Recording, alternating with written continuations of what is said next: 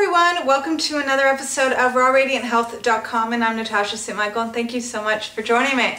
So today is Wednesday, it's the middle of the week, and I re received a request to talk about healthy options when going to a restaurant. And the request was actually for me to talk about raw foods and eating out when someone's on a raw food diet, but also eating out when you're just on a healthy diet and you're eating cooked foods, but what are the healthy things to eat at restaurants?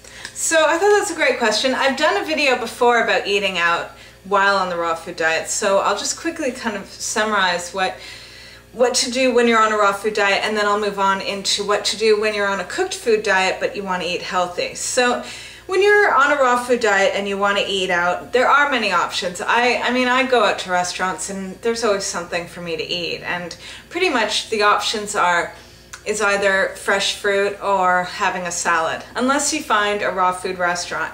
And sometimes vegetarian or vegan restaurants might have a few raw food options. So it's a matter of looking around and seeing what's available for you.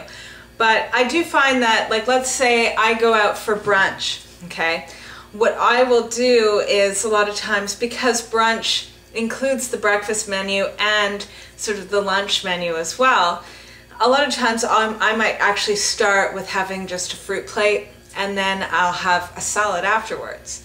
So therefore it gives me a little bit more variety um, without just, just having either fruit or salad. And when I go out for dinner, lately what I've been doing is I've noticed that a lot of restaurants will usually have more than one type of salad on a menu. A lot of times they might have like a mixed green salad or they might have like a spinach salad, different types of salads. That a lot of times what I'll do is I'll order one salad as an appetizer and then another salad as my main dish.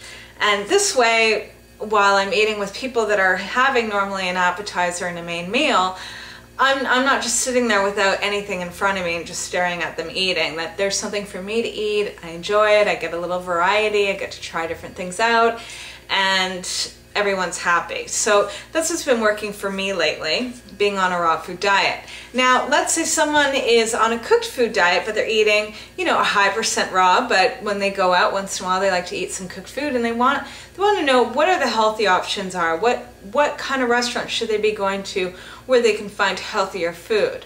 Now, the main thing that I always tell my clients that that are going through this and, and trying to make best decision is it's always to approach your meals and approach a menu as what are the healthiest options. And usually comes down to eating foods that have a lot of vegetables in it okay and staying away from I'd say foods that you really should be staying away from at restaurants are things that really don't have much nutrition in it okay it's just mostly like you know kind of like empty processed food, okay? And, and that would be like staying away from pasta, staying away from breaded meals, things like that. And I'd also suggest staying away from anything that's deep fried, anything that has a lot of oil, a lot of cheese, a lot of cream in it, anything that's really like super high fat, or those things that are just kind of don't have much nutrition in it, okay? So you want to kind of stay away from that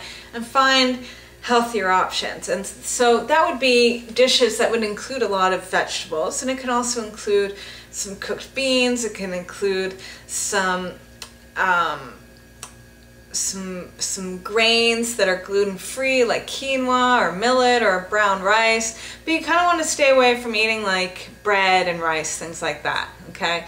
So let's say you're you're trying to decide what what kind of restaurant to go to. I'd say the healthiest restaurants would be a lot of times like a japanese restaurant usually has very healthy food okay you can get a beautiful seaweed salad you can get a miso soup even sushi's good okay i would stay away from tempura things that have been battered and deep fried Okay, those are like, you know, so you see healthy options and non-healthy options. Stick with the healthy stuff. Then you can also choose too, like going to something a little bit different, like a Middle Eastern restaurant where they have a lot of vegetable uh, salads with beans and they even have like hummus and baba ganoush and, and different things that are made from whole foods, okay, and that are are, you know, sort of maintaining some of the integrity of the original food, okay? That it's not been so processed down, but you know, these foods are cooked, but at least they still do have some nutrition in it and and it, it's it's healthy, you know. So that's another option. And and let's say you were to go to an Italian restaurant, they always have beautiful salads on the menu. They have a minestrone soup, which is also made out of different legumes, and a lot of times you can find too an appetizer that's got some grilled vegetables, things like that. So, you know, don't be afraid too that instead of ordering like a main dish, you can always order two appetizers as your main dish. And a lot of times I find appetizers to be a lot healthier than the actual main dishes. So, you know, there, there's ways of doing things a little bit differently and, and trying different things out. And also too, Asian restaurants have plenty of vegetables and, and greens in their dishes. And you can get vegetarian dishes that, you know, are either lightly stir-fried or steamed or things like that that are a great great option too for when you're dining out and you want to maintain things being healthy. Just kind of keep the the rice and things like that on the side and don't go near anything that's been deep fried okay? And and also too like let's say you're going to a Mexican restaurant. Why not have the taco salad without having you know, the sour cream and the cheese. You know, it's like you can still enjoy the guacamole and the salsa and things like that, and even the beans, but, you know, just keep the, the fatty stuff to the side. And there's also, too, you know, that I, I do want to point out that, you know, when you're eating out, you know, sometimes you can cut yourself some slack, you know, you don't have to be like so super disciplined all the time. It's all right to once in a while to go out and just have foods that you normally don't eat because you know, as long as you're you're keeping it as something once in a while, it's not going to affect you in the long run. You know, it, it's when someone's day in and day out just eating, you know, bad, unhealthy food over and over and over again. But let's say you go through months without having, you know, any kind of so you know unhealthy food, then it's alright to sort of cut yourself a little bit of slack if you want to have a few, you know, corn chips. It's not a big deal. So the main thing is is you know, you want to keep the majority of the food that you're eating healthy and you always want to be informed, be alert, and, you know, realize that, that there's more options than you think. A lot of times people think that if they're eating healthy, then, you know, they got to stay at home and they got to just hide away and just never eat in public again. And no, there's a lot of healthy options out there. It's just looking for it, seeking it out and thinking about it and looking at a menu and seeing what is presented to you.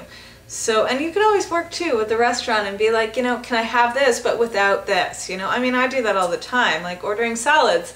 You know, they might have a salad on the menu that's got meat in it. So I ask for it without, you know, no big deal. so those are my little tips for the day. And I'm wishing you guys a fabulous, fabulous day. And I'll see you tomorrow. Bye.